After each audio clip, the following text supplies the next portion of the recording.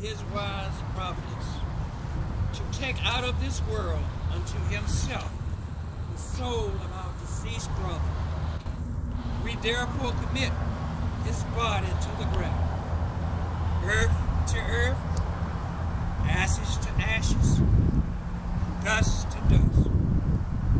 I heard a voice from heaven saying unto me,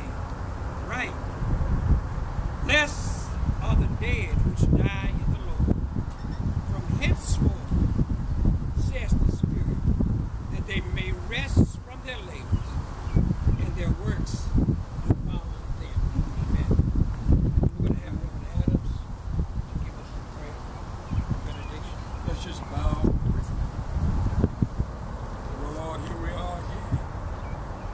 Say farewell to one that we have lived with and laughed with and just enjoyed life with. We pray now for the family.